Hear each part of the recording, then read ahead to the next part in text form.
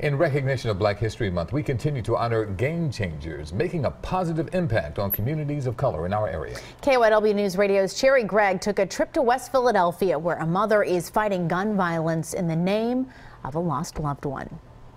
Out this here. is me kicking butt out here. Meet Movita Johnson Harrell. I've really had to fight all my life. She's a warrior woman going head to head with gun violence. 26 days after my son died, his only child was born. A powerful voice at rallies and in city council, Movita's battle began after the mother of four moved her family to Delaware County to flee the violence in southwest Philadelphia. But she learned it wasn't enough. January 15, 2011, I buried my son. Movita's youngest, Charles Andre Johnson, was gunned down in Philadelphia in a case of mistaken identity. He was 18. Devastating. It was devastating. Because I don't worry about my daughters.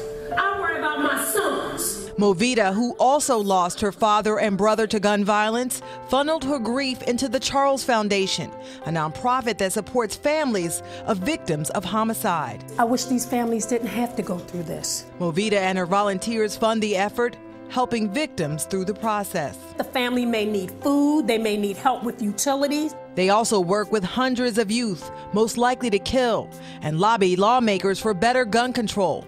Last month, the UPenn educated social worker was named Victim Services Supervisor for the Philly DA's office. The homicide survivor has never sat in that seat before. She's hoping more will join the fight. Movita, there's a lot of people who look at gun violence and say, it's not in my backyard, I don't have to worry about it.